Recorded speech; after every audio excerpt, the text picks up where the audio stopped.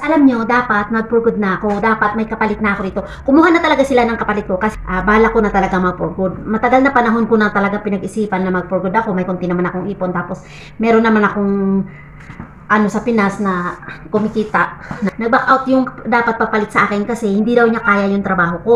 Hindi ko pa nga siya pinapatrabaho. Sabi ko nga sa kanya, tingnan niya lang ako. Sabi ko, manood ka lang kung anong ginagawa ko para pag alis ko, alam mo na. O, di ba? Sabi ko, matagal na, matagal mo pa ako makakasama hanggang December pa. Sabi ko, tingnan mo muna kung anong ginagawa ko. Tapos kung sa, sa umaga, kung anong una kong ginagawa. Tapos kung paano ako magtrabaho. Yun ang sabi ko sa kanya.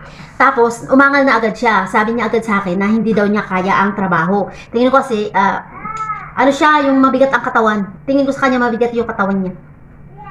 Tapos, ano, umay, um- umayaw siya. Tapos, yung amo ko, parang hindi rin siya gusto. Parang hindi rin siya gusto ng amo ko. Pero sabi ko sa kanya, sabi ko sa amo ko na okay naman yan. Basta turuan mo lang. Sabi ko ganun sa kanya. Tapos, ayaw, ayaw nga, ayaw nga niya. Nagpasoli na siya sa agency. Alam niyo guys, ta- sa sampung araw lang siya, ang mahal ng binayaran ng anak ng amo ko, 200 dinar o magkano yun sa peso. Magkano yun sa peso kasi ang 70 dinar is 100 dollar, o di ba?